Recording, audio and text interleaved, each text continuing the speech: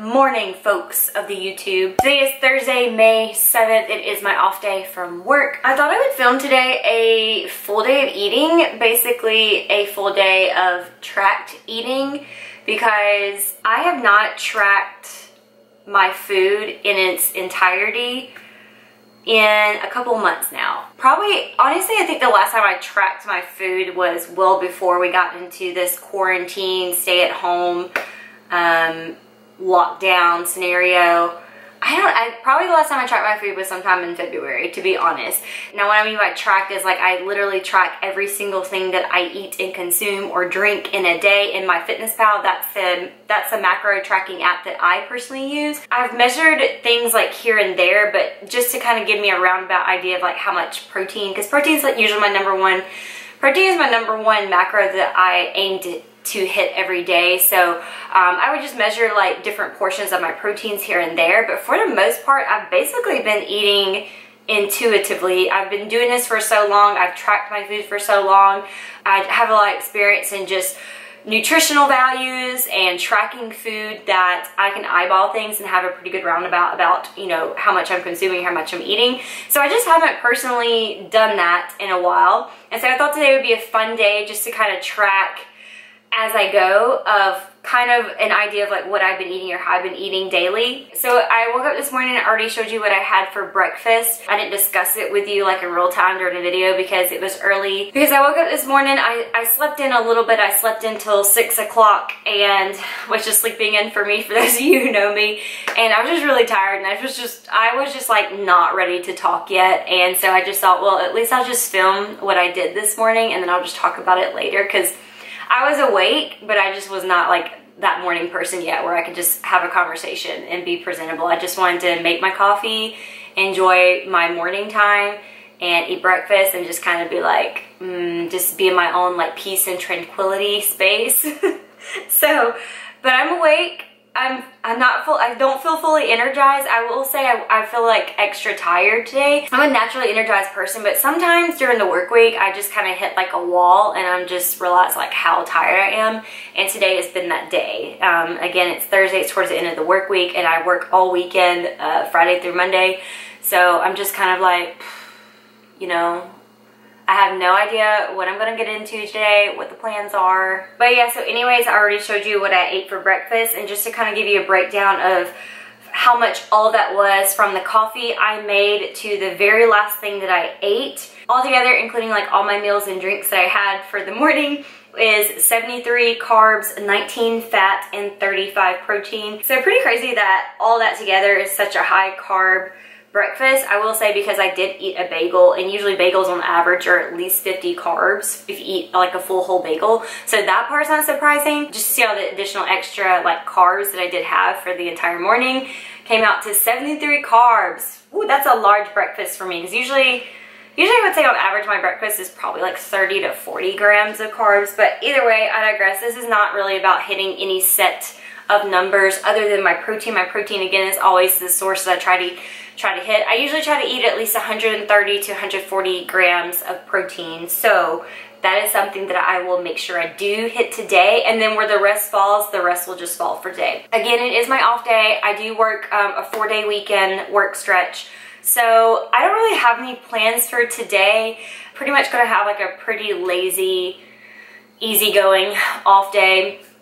I feel like I deserve it. I may like you know, do something productive, like kind of pick up or clean up around the house, maybe do a little bit of laundry here and there, but nothing, I don't have anything planned. I do need to do some more wedding planning stuff. Yeah, I just really just don't have anything planned for today, and I think that's okay sometimes because as I mentioned, I don't get many off days from work, and when I do, it's always a toss-up of, am, do I be productive or do I actually take this time to relax and recharge and just kind of re-energize so I can go back into the workday just fully like as much clarity and as much energy and as I can. And sometimes just depending on the work week, it takes a it takes a lot for me to just truly detach from work and not bring the anxiety or the stressors from my job to home. Like yesterday in particular, yesterday wasn't a bad day. There's just some like conversations that I had that just kind of stirred up some just kind of stress and anxiety and a little bit of animosity towards just kind of things that's like going on in our particular store and pharmacy. that it just kind of really weighed on me and on into when I got off work and got home yesterday. And so I tried and tried. I'm so horrible. Like, I'm so bad about dwelling on like one little thing that it shouldn't mean that much to me, but sometimes it just does. And as much as I like try to convince myself about it, try to pray about it, sometimes it just like just weighs heavy on me and it just bothers me. So I woke up this morning feeling so much better about the situation. So I'm really happy for that. And that's why it's so important to really give yourself just some time off from work and really try to just leave work at work and really just detach as best you can um, leave all the burdens and stress and anxieties as best you can away so it doesn't affect your home life, your mental health, you know, just so it doesn't just bleed into your life and just suck all that joy away from you. And I really, really have been trying to work on that a lot this year. So anyways, I digress. Again, I don't know what this, what I'm going to be doing in this video. I just know I'm just going to be showing you like a full day of eating and of tracking since I have been doing that. Speaking of which, of all this quarantine time now, if you're new to this channel, I am a pharmacist, so I have I am an essential worker. I've always been an essential worker. I will always be an essential worker. So nothing has really changed for me during this time of pandemic or crisis is going around the world. My routine has basically been the same. Nothing's really changed for me. And I joke, and I, I don't mean this lightheartedly for anyone else's like life or circumstances or how it's affected them, but really and truly, like it does not feel like a pandemic for me in my personal life because again, nothing has changed. I still get up, I have the same routine, I still go to work. Um, only the biggest difference for me has been I just work out at home now. I don't actually go to the gym right now since they're closed. So nothing changed for me. So in terms of my eating habits for this quarantine life, I will say until recently, we have not gone out to eat this entire time even though you know restaurants are shut down restaurants are still doing you know curbside pickup or uh, to go orders or whatnot so you still have that capability but really and truly until recently i think last week or the week before was the first time in almost two months of this that's been going on that we have eaten out because we have really been just eating everything at home. I've been a lot more diligent about my grocery shopping and like really kind of preparing from week to week you know how what we're going to eat and how much can last us and just kind of getting more creative with what I have on hand to make meals. And so we've honestly been eating almost 100% at home this whole time. And with that, for me personally, I think it's actually affected me better. I know some people have like a different effect or different response from this. I have seen both sides. I've seen some people that are actually eating a lot healthier and being more mindful and diligent about their choices about what they cook and make and eat at home. And then on the other side, I've seen a lot of people that have just kind of used this as an excuse to just eat a bunch of just junk food and not really eat with their health in mind or the best of how they could be eating. For me personally, I feel like I've done, I've been more consistent about being in control of what I cook and what I consume. I wouldn't necessarily say that I've been eating healthier because I think that's a very relative or arbitrary term to say because health means different to a lot of people. For me personally, I follow flexible dieting. So basically I eat whatever I want as long as I'm staying within my numbers.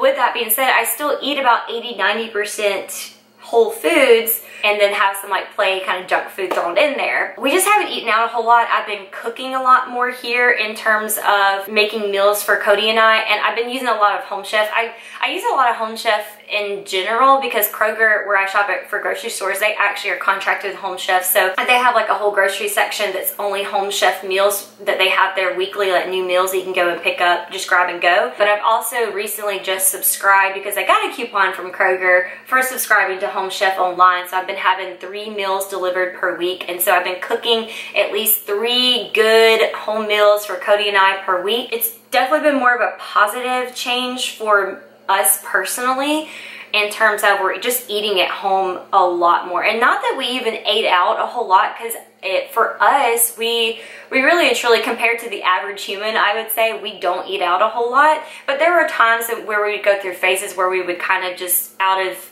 laziness and just out of convenience, we would go pick up something from one of our favorite restaurants here in Auburn, but none of that has happened. And I was thinking about the other day, and I have not gone to Starbucks or had a Starbucks in over two months, and that's definitely a streak for me. And not even that I'm an avid Starbucks consumer, but just the sheer fact that I truly have not gotten a Starbucks coffee or food item in over two months and that's crazy to me. but I just want to give you an example of kind of how I've been eating and so that's what I'm gonna show you today. It's actually a little past 10.30 right now. I've got to do some things on the computer really quick. I am already kind of hungry, so I'm gonna go ahead and make a snack and I'm gonna show you what that is. For my snack, I show these a lot in my videos, but I'm having a cup of this red grapefruit, the no sugar added. These are so nice and convenient. It's um, zero fat, only one gram of protein, and only 15 carbs, but the no sugar added are sweet enough as they are, so that's the one I like to get. So I'm gonna eat a cup of that. I found these the other day. They're by Sargento. They're these little snack bites. They have different cheese assortments, but the one I got was the rustic Gouda and mild yellow cheddar. The macros on it for a little portion size is pretty good. It's only 9 grams of fat, less than 1 carb, and 7 grams of protein. So it's a little higher in fat, but that's okay. Um, as a female and not any type of restrictive cut, um, keeping my fats high is very important to me for my health and my hormones. So I'm okay with having a little bit higher fat diet um, overall. So, but these are really nice and convenient. And then the other thing is an extra protein source. I went ahead and measured out one ounce of this beef jerky. And this beef jerky I found at Kroger is really good. It's by one of the brands, their private selections. It's the Carne Asada beef jerky. Let's see, citrus, cilantro, and jalapeno kick. And it's really good. It really does taste like Mexican like flank steak, but it's like in beef jerky form. But this is going to be my little snack for right now, grapefruit cheese and beef jerky. And then in the MyFitnessPal app, that comes out to 20 carbs, 10 fat, and 19 protein. So a good macro breakdown of a mid-morning snack. It's almost 1.15 and I really have not been doing a whole lot of anything. I really am truly just being kind of a lazy bum today. I did some computer work, but I keep getting distracted on my phone and I'm not usually like that, but I keep getting like distracted and before I know it, unnecessary time has already passed and here we are, it's past one o'clock and I just haven't really done anything. but I am getting ready to make lunch. I'm gonna make a salad that I've really been enjoying lately, so I wanted to show you all all the ingredients that I'm putting in it. So the base of my salad consists of this baby spring mix that I got from Kroger. I am going to chop up half of an ambrosia apple. I'll chop up about a tablespoon of these pecans, of chopped pecans. I've got some chicken thighs here that I cooked in the air fryer a couple of days ago. I went ahead and chopped up three ounces of it, which I'm actually going to put back in the air fryer just to heat it up and kind of crisp it up a little bit. I don't like my meats to be cold in my salad. I kind of like a warm meat on my salad. I just don't like cold meats eh, personally. And then I'm going to top it with these goat cheese crumbles. And then this is the salad dressing that I've been using by um, Simply Dressed. It's this basil balsamic vinaigrette that's really tasty. So I'm going to put my chicken in the air fryer for a couple of minutes, chop up my apple and my pecans, and I'm going to throw this all together and I'll show you the end product. Got my big salad here. Put it all thrown together super yummy. And I'm just back here on the couch in front of my heater. It's like 70 degrees outside, but it's so freaking cold in my house. So I've got my trusty heater going on right here. Got my salad, watching a little TV, and Slater staring at me. And I almost forgot to tell you all the macros for the meal because I think that's kind of the point of this video today. But for the entire salad meal, it's 18 carbs, 31 fat, and 27 grams of protein. It's the middle of the afternoon and my hair is just getting crazier and crazier. I haven't even redone it. I haven't even taken it down and brushed it since I rolled out of bed today. So there's that. Well, that's a typical home life for, for Kels over here. But anyways, um, just got done with a walk. Me and Slater went on a 45 minute walk outside. It's such a beautiful day outside. It's not very hot like it has been. It's only, I think the high today was like only like 71 degrees. And so it's a clear blue skies. It's bright and sunny, warm, kind of mild weather but with a cool crisp breeze in the air. We just got done with our walk and not really a whole lot going on still. I'm just feeling really drawn to just sit down and catch up on my Bible study. When I have my days off, if I do have time, I say if I have time. Really, if it's a priority of in my day, I can make time for it. So that's just an excuse for me to say I don't have time. but I'm feeling really drawn just to really get in the Word and do like an official Bible study. I listen to my Bible study a lot. I don't always get out like my Bible or my notes and actually take notes, but I'm just feeling really pushed to do that. So I feel like God's like, you should sit down and listen to this. So that's what I'm about to do right now. But to accommodate that, I'm going to make me an iced coffee, actually an iced whipped coffee. I'm sure most of y'all have seen this thing out there that's so popular called whipped coffee. I found like a recipe and I kind of tweaked it and made it my own and it's actually really delicious. I actually prefer it over my normal iced coffee. And so that's what I've been making a lot lately. So I thought I would show y'all what I do for that. Okay, so the ingredients that I personally use is this Nescafe Taster's Choice. It's a house blend. Instant coffee. I think it has to be instant coffee, or at least that's what all the people have been doing or the ingredients I've been seeing. So instant coffee, I do two teaspoons of that. So two teaspoons of that. I use just one packet of Truvia sugar. And then for my milk, I use the Carb Master just plain milk. Originally, I was using the vanilla flavored Carbmaster this, but the last time I went to Kroger, they were out of the vanilla flavor, so that's why I have original this time. I do prefer the vanilla flavor because then that way I don't have to add any extra flavor or sweetness to it. But since I have the original one, I've just been adding about five milliliters of this uh, Jordan Skinny Syrup Vanilla Caramel Creme. I don't really care for these. That's why I still have, I have many flavors of these, but I have barely any of them used because honestly, they're very chemically tasting if I'm being honest. And so I don't really use it a whole lot. But like just the tiniest splash of this is okay. And it works well with the whole combination of this working out. So again, that's just what I personally use. So I always have sort, some sort of mixing bowl. I usually just use a measuring cup. And then I use my little Aero Latte that's like, it's like a, milk, a handheld milk frother. And then I do five tablespoons of warm water. So in the background you probably hear it. I have my hot faucet going. So I measure out two teaspoons of the instant coffee. One, two into my measuring cup. Then I'm gonna do five teaspoons of this hot water over here. And then I'm gonna dump my sugar packet in here. And then all you do is turn your milk frother on. You can actually use a whisk too, but I don't have a whisk that's like small enough to beat something like this or whisk something like this, but you just do it enough until you get a frothy consistency. I've seen all kinds of consistencies on this whipped coffee. I've seen it where some people's look like pudding, which I think that's I think you get that consistency when you use pure raw sugar and a lot of it, like two tablespoons worth. And I'm, I'm sorry, but that's a lot of sugar and that's entirely too sweet for me. So this, to me, this ratio that I'm showing you is actually the perfect amount that I have personally found. But yeah, I just mix this up and then I pour eight ounces of this Carb Master because that's a serving size. It's zero fat, three carbs, and 11 grams of protein. So you do get some protein from this milk, but hardly any carbs. So I'm gonna go ahead and put my fluid ounces on. I'm going to measure out eight ounces.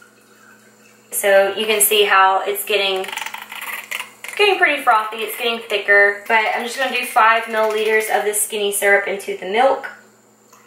And honestly, you could do this as long as you wanted to get the consistency you want. I'd probably do it about maybe a total of like two minutes, if that. I'm not really sure. I haven't really timed myself. I just kind of wait to see how the consistency is. If I feel like it looks good enough, then I go with it. Okay, I'm gonna drop some ice cubes in there. Okay, that's good enough for me.